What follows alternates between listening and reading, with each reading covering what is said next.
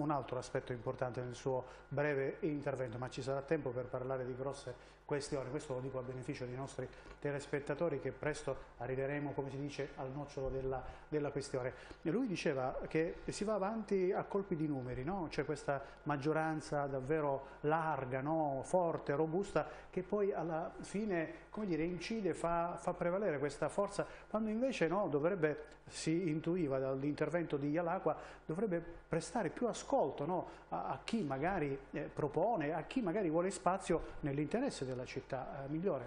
Ma sì, assolutamente, anche perché questa maggioranza dei numeri noi la dobbiamo spiegare bene. Mm. Noi oggi abbiamo una giunta assolutamente monocolore e quindi questo già secondo me nella democrazia non va mai bene. Abbiamo una maggioranza fatta da 18 consiglieri del Movimento 5 Stelle che però non rispecchia la vera rappresentatività della città perché noi dobbiamo eh, ricordare e anche spiegare meglio che il sindaco Piccitto ha vinto al ballottaggio. È stato un voto di protesta, c'era l'onda, quindi va bene così.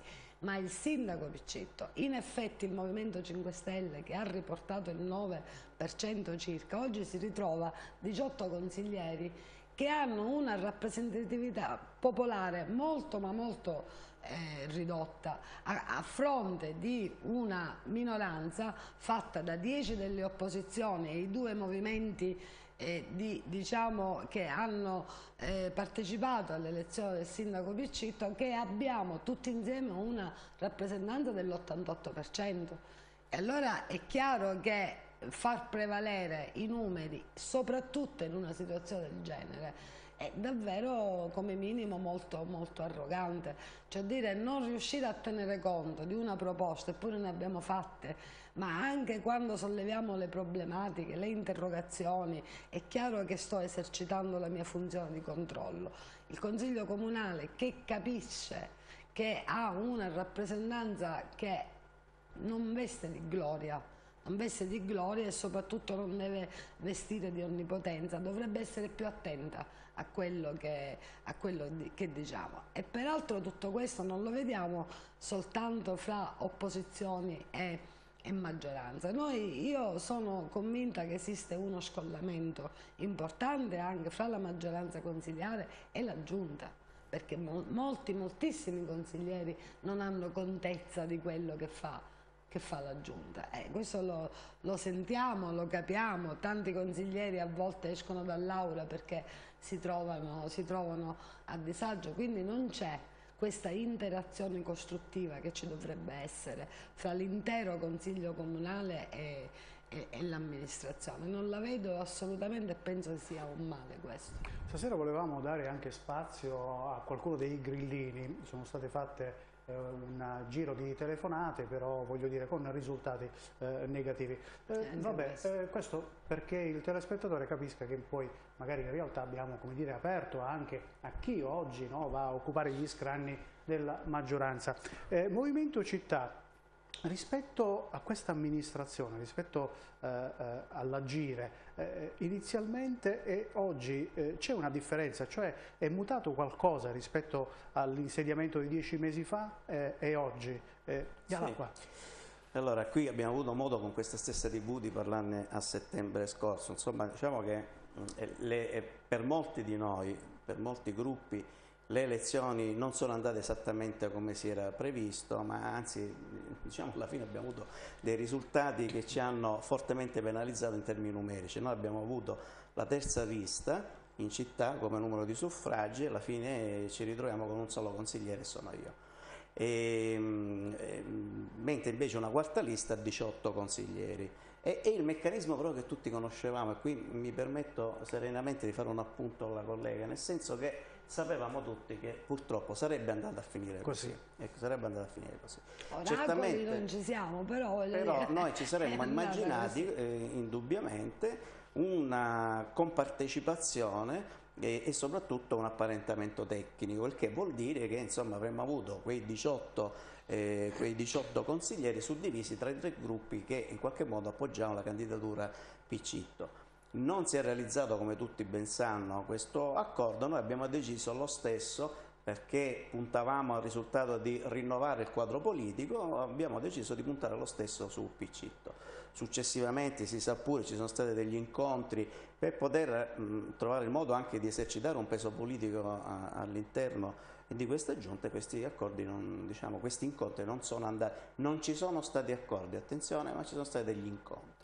Ecco, oggi eh, io mi ritrovo un po' schiacciato, diciamo, perché faccio un altro eh, simpatico appunto, eh, intanto le opposizioni sono variegate, loro, loro, eh, loro, stesse, diciamo, eh, forse un giorno bisognerà anche variegare l'altro fronte, però dico, eh, non tutti affrontano la dialettica argomentativa alla maniera della consigliera Migliore o di qualcun altro, spesso nascono provocazioni, spesso volano straccetti in aria e tutto questo secondo me eh, non aiuta. Io mi sarei anche aspettato un contributo pure da consiglieri di opposizione di diversa natura.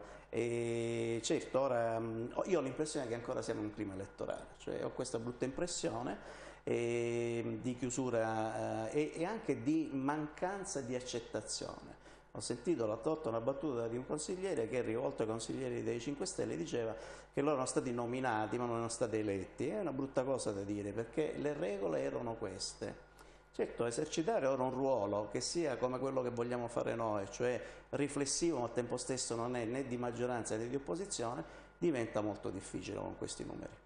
Oggi dunque, eh, come dire, si è più con un piede eh, verso eh, il fronte, sul fronte di chi fa opposizione, cioè, eh, capisco, il suo passaggio eh, va bene, è stato interpretato perfettamente da tutti anche a casa, ma eh, come dire, andate avanti a piccoli passi eh, e a piccoli passi decidete sul da farsi, cioè per capire sì, sì, sì, in no, maniera... No, no. Avete perfettamente ragione, il nostro imbarazzo deriva da questo io guardi, non ho nessuna difficoltà a dire che ho creduto e credo in questa prospettiva eh, che sia aperta nuova per la città.